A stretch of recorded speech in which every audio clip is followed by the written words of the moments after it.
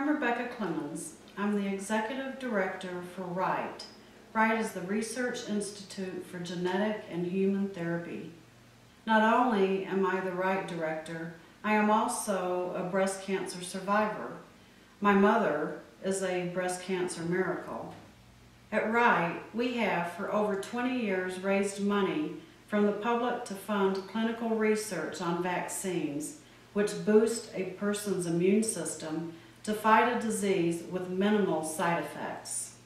There is now a new cancer vaccine under development by a group of innovative scientists in Budapest, Hungary. The Budapest vaccine will change the way cancer is treated by matching the right patient with the right vaccine at the right time. Your donations are all tax deductible and all of the money you donate will go to fund development of the Budapest vaccine to help it get to the market sooner than later. Together, you and I will make a difference and help finally end this war on cancer. Your donations, small or large, will make a difference.